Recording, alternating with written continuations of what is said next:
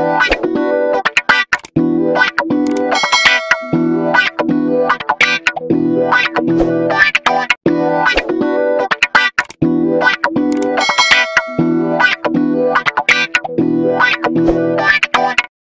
Assalamualaikum warahmatullahi wabarakatuh teman-teman sobat dan sahabat CP channel semuanya. Terima kasih ya eh, saya ucapkan sebelumnya yang sudah mendukung saya hingga saat ini.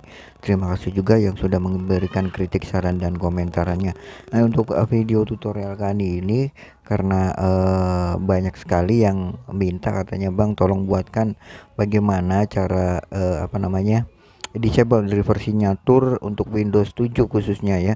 Karena sebelumnya saya juga sudah memberikan tutorial sedikit tutorial eh, cara disable driver signature Windows 10 dan eh, 4 bit ya.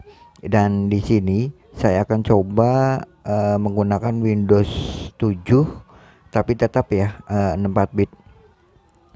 Karena uh, mungkin banyak sekali ya ini nih berguna dan bermanfaat sekali bagi uh, teman-teman teknisi handphone saya ya yang mungkin uh, mau menginstal uh, driver MediaTek atau driver Qualcomm dan juga driver Spectrum ya karena ya memang sangat dibutuhkan sekali ya. Tapi uh, tidak semuanya sih, tidak semuanya harus di disable driver signature dan bagaimana cara ngeceknya? Cara ngeceknya uh, koneksikan HP entah itu mode DL atau mode media EMTK Brum dan uh, coba cek kalian di device manager kalau misalkan dia ada tanda kuning uh, mungkin saja mungkin saja laptop atau komputer kalian itu harus di disable driver signature maka dari itu uh, sengaja saya sudah instalkan nih Windows 7 ya pada laptop saya Windows 7 dengan uh, fiturnya itu 64 bit oke okay? bagaimana cara dan uh, mendisable driver signature enforcement ini pada Windows 7 64 bit. Langsung saja tapi seperti biasa luangkan waktu kalian sebentar untuk subscribe channel saya. Aktifkan notifikasi loncengnya. Jangan lupa ya untuk uh, follow Fanspeak JP Smart Service. Kita coba cek. Ini Windows uh, apa laptop ya ya yang yang ada aja ya. Yang ada saja karena uh, mungkin akan sangat mudah sekali uh, untuk uh, disable driver signature pada pada komputer atau pada uh, laptop yang fiturnya itu memakai 4 bit. Coba kita nyalakan dulu. Ingat ya ini ya tutorial ini mungkin tidak semuanya ya, tidak semuanya harus uh, di disable driver signature. Ada juga yang langsung bisa ya langsung connect uh, device-nya uh, ke laptop atau komputer tanpa disable driver signature. Tapi untuk apa ya tuh untuk menjawab pertanyaan dari beberapa komentar saya yang katanya request tolong buatkan tutorial cara disable driver signature khususnya pada Windows 7 uh, 4 bit. Ini uh, berfungsi juga ya untuk Windows 8 ya. Yang penting fiturnya itu 4 bit. Nah seperti ini. Ini laptopnya udah nyala sudah nyala dan untuk langkah pertama ini ini sebagai itu aja ya sebagai sebagai tutorial saja lah ya eh, kalian kalian teliti saja nah coba cek nih eh, saya akan cek ini Windowsnya itu kita cek dulu my computer properties dan di sini saya gunakan dan saya sengaja instalkan Windows 7 Ultimate ya ini bisa-bisa juga untuk Windows 7 Pro, Windows 7 Home, profesional ya. Nah, ini 4 bit. Nih, 4 bit operating system. Berarti ya bener ya otomatis ini adalah laptopnya menggunakan Windows 7 Ultimate 64 bit tapi bisa juga untuk Windows 7 Pro Home profesional sama saja.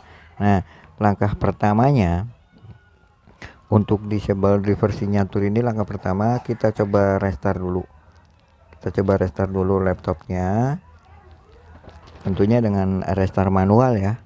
Restart manual uh, setelah uh, sistem Windowsnya itu normal. Kita restart dulu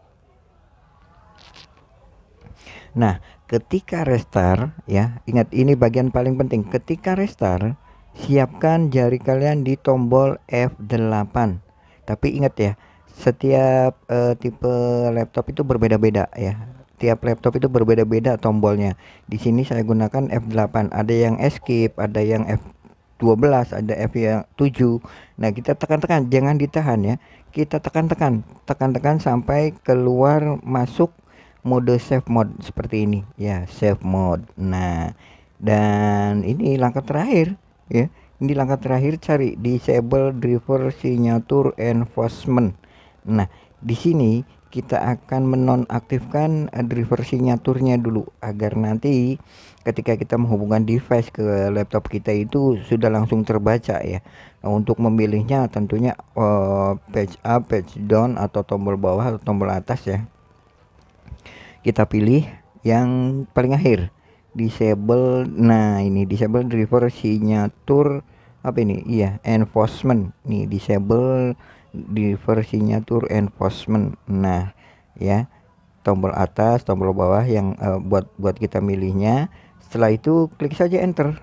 Klik enter nah restart akan laptop uh, apa laptop akan restart dengan sendirinya lah. Laptop atau komputer dia kalau misalnya sudah di disable dia akan uh, restart dengan sendirinya. Kita tunggu sampai boot upnya lagi selesai. Dan ini sudah ki, uh, laptop kita atau komputer kita ini sudah sudah di disable. Device tur ya. Caranya cukup mudah sekali ya kawan-kawan ya. Nah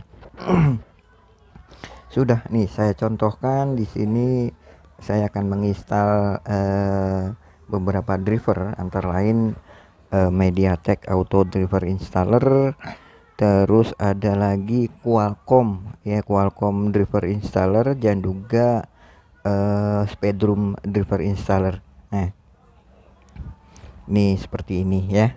Nah, kita coba instalkan dulu MCK Auto Driver Installer. Tapi ingat ya ini uh, kalau misalkan kalau bang uh, kalau misalkan install uh, driver dulu bagaimana uh, sebelum disable? Bisa ya. Jadi uh, disable driver signature dulu baru install driver bisa atau malah sebaliknya kita instalkan driver dulu ya, ya entah itu driver MediaTek entah itu driver Qualcomm dan juga driver Spectrum setelah itu eh, kita disable driver signature enforcement bisa juga. Ya jadi ini terserah kalian semuanya ya. Mana yang lebih cepat mana yang lebih baik dan eh, pokoknya ini tergantung kalian semuanya masing-masing. Ya di sini saya hanya apa namanya memberikan sedikit triknya saja.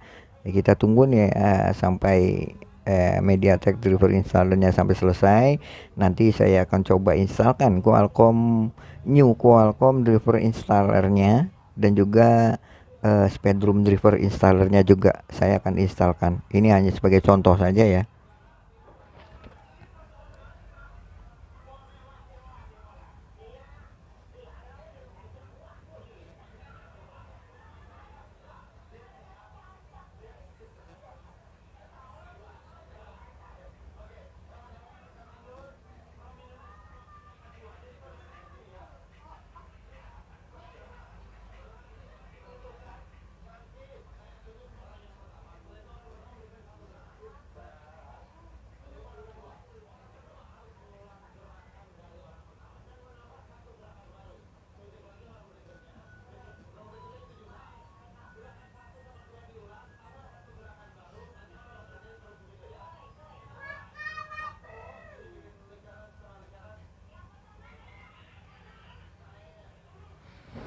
Nih, ini MTK driver installer sudah selesai. Sekarang saya akan coba instalkan uh, Qualcomm new Qualcomm driver uh, setup ya.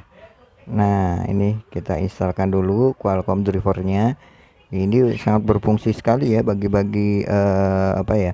Uh, device yang uh, chipsetnya itu Qualcomm seperti Xiaomi atau ya pokoknya banyak sekali ya yang support untuk Qualcomm device seperti ini. Uh, sekali lagi ya ini uh, apa namanya ini terserah kalian. Mau install driver dulu terus disable driver signature silahkan. Mau di disable driver signature enforcement dulu terus install uh, driver juga silahkan. Ini terserah kalian karena ini hanya apa ya hanya tutorial dan juga hanya jawaban dari beberapa uh, komentar yang ingin membuatkan eh, ingin dibuatkan uh, tutorial uh, cara disable driver signature enforcement Windows 7 64 bit. Dan sekali lagi cara ini bisa juga berfungsi untuk Windows 8 ya yang menggunakan fiturnya 64 bit. Tapi ingat ya setiap laptop atau setiap merek laptop atau komputer itu berbeda-beda tombol masuk save mode-nya ya. Ada yang tombol ESC atau skip terus ada juga yang tombol F7 atau F8 atau F12 atau F11 jadi e, berbeda-beda setiap merek e, laptop atau setiap merek e, komputer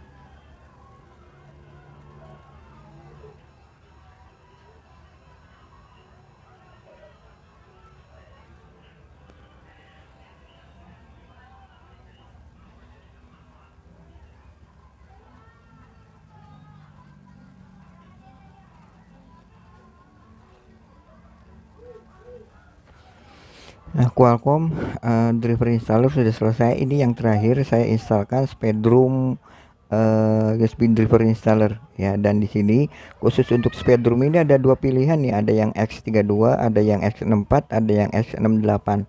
Kalau yang Windows 7 64 bit atau Windows 10 64 bit itu pilihnya folder X64 ya.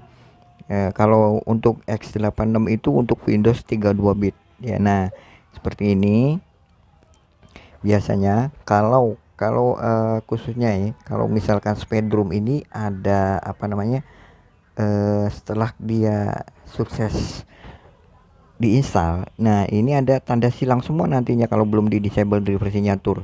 Ini kan sudah tanda checklist semua jadi selesai ya. Nah mungkin uh, hanya itu saja sobat teman dan kawan-kawan uh, teknisi handphone uh, di mana saja berada tutorial singkat dan mudah cara disable driver signature enforcement untuk Windows 7 64 bit dan juga Windows uh, 8 64 bit. Pokoknya yang menggunakan fitur 64 bit ya Eh, untuk kesempatan hari ini sudah saya sediakan, sudah saya jawab. Mudah-mudahan berguna dan bermanfaat. Jangan lupa ya dukung saya terus dengan subscribe kalian ya. Aktifkan notifikasi loncengnya juga jangan lupa ya agar kalian bisa mendapatkan notifikasi update terbaru dari saya JP Channel selamanya. Oke, terima kasih dan salam.